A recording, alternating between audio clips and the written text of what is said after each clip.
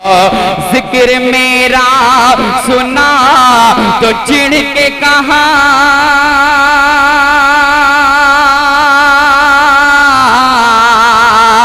ज़िक्र मेरा सुना तो चिढ़ के कहा। अरे किस दीवाने की बात करते हो?